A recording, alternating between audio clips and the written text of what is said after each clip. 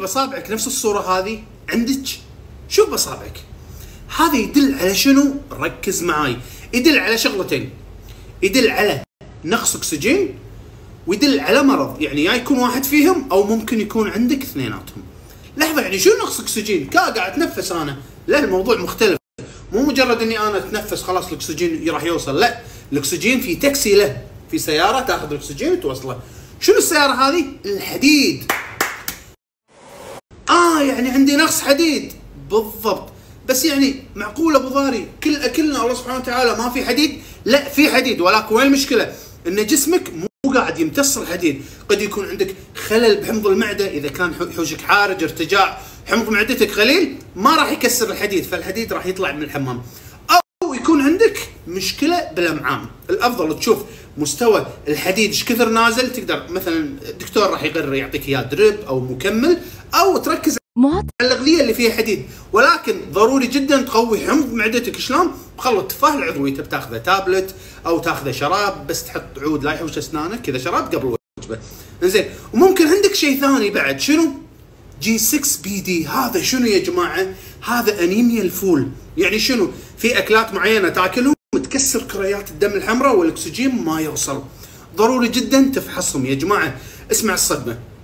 في شخص دش بعمر الأربعينات. يكتشف إن عنده هذا المرض G6PD تو يكتشف.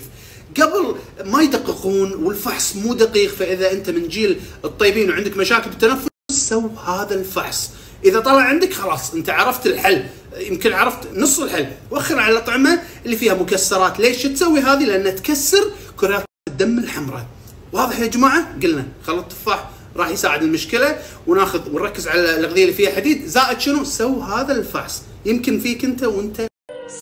خليني أقول لك أفضل ملتي فيتامين تقدر تاخذه ويغطي احتياجات جسمك كلها.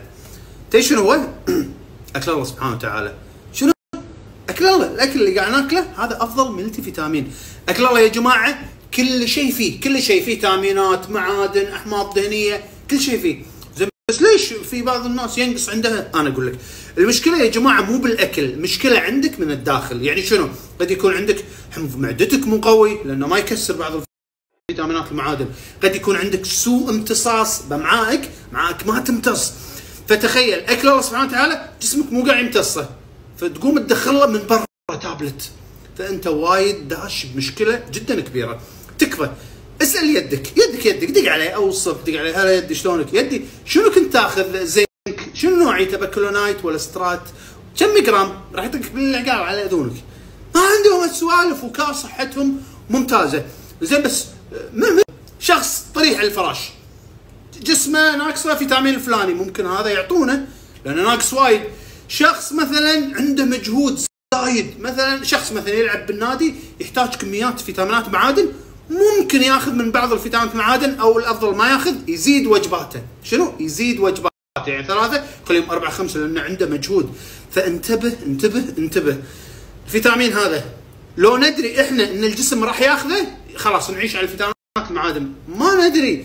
فدائما الخلل من شنو يا جماعة؟ من أمعائك أو حمض المعدة. ضبطهم ضبط أمعائك ضبط حمض المعدة. ترى والله أكل الله كل شيء فيه. لا تلود على الكبد والكلتين شفت الكبد والكلتين لما تاخذ لا تلود على الكبد والكلتين شفت الكبد والكلتين لما تاخذ فيتامينات معدن لازم يمرون هني عشان يوصلهم. فتخيل الكبد يقول عندنا منه هذا ليش داز؟ عندنا منه فليش تبي تشغلني شفت التليفون لما تستخدمه فترة طويلة؟ يصير حار يتعب. كذي راح يصير بالكبد لما يطق وبعدها ماكو كبد ماكو كلتين